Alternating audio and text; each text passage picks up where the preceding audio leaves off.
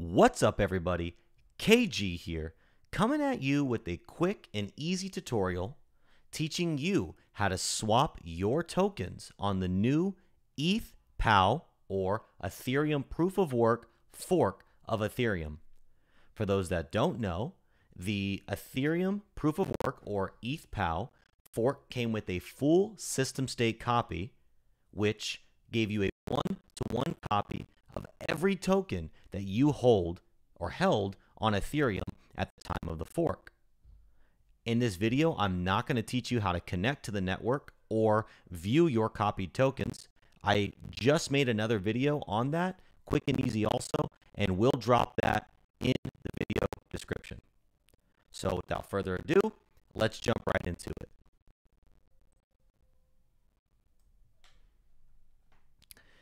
All right.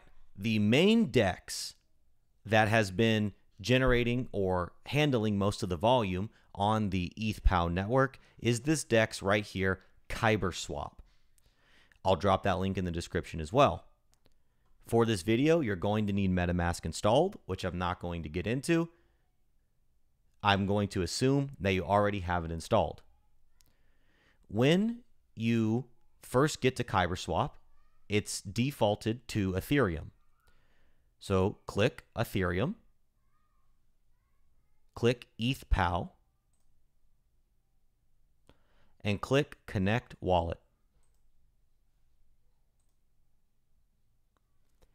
It may ask you, eh, your MetaMask may pop up and say, approve the switch from Ethereum to ETH POW. That's okay.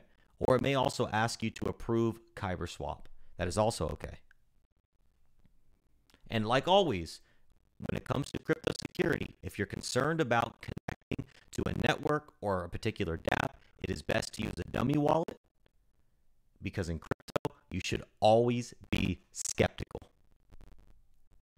Now, and you also need to make sure you're connected to ETHPOW or ETHW in your MetaMask. So in this tutorial, we're going to be swapping from ETHW, the native token of ETHPOW, to HEX. And just like any other DEX, you select the token you want to swap out of, select the token you want to swap into. Now, if you can't find your token on this list, that's okay. Because all token addresses or contract addresses on Ethereum mainnet are the same on ETHPOW. So because it's a full system state copy, it even copied the contract addresses. So if you want to get the contract address for your token, go to etherscan.io or CoinMarketCap or DEX Tools or DEX Screener, whatever you use, and just get the Ethereum contract address. It's the same exact one. Post, paste that in there. You can see it generates this your first time interacting with the token on KyberSwap, it's going to ask you to approve the token, which will be a transaction that pops up in your MetaMask. You have to approve it, wait for that to confirm before you can actually actually execute the swap. So here we go. We're going to do max of our ETHW, which gives us 510 hex. If your slippage, if if you have a price impact too high, error here, click settings, and then you can change your slippage amount. The higher you put the slippage, you, you have to keep increasing the slippage until that error goes away. But for this swap, I'm okay at 0.5%. I'm going to click swap. Shows me my gas fee, minimum received, just like any other DEX. Confirm swap. An error occurred. Okay. So increase max slippage. So I did get the error. So let's go ahead. Let's just get crazy. I'm going to do 10%. It is that is a lot of slippage, but we're doing a tutorial here. Swap. Confirm swap. And you can see now it worked.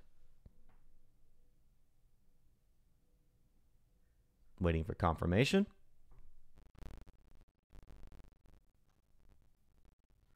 Make sure all details look good to you. Confirm.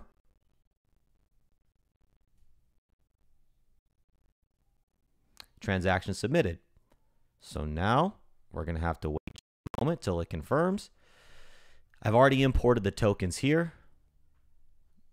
And just like any other DEX or network, you just import the tokens and put your contract address. I'll drop a video description where I showed you how to do this and overcome an error that some people are receiving when importing tokens. All right, I guess we're still waiting on that to confirm. There it is. Hex came in, ETHW left, and that's it. You are transacting on ETHPOW or ETHW. It is that quick, it is that easy. I will drop all links in the description. If you have any questions, swap success. If you have any questions, feel free to drop them in the comments below. I'm active and I will do my best to answer your questions. Thank you for taking the time to watch. I hope you learned something. If you did, hit subscribe, hit the like button. Have a great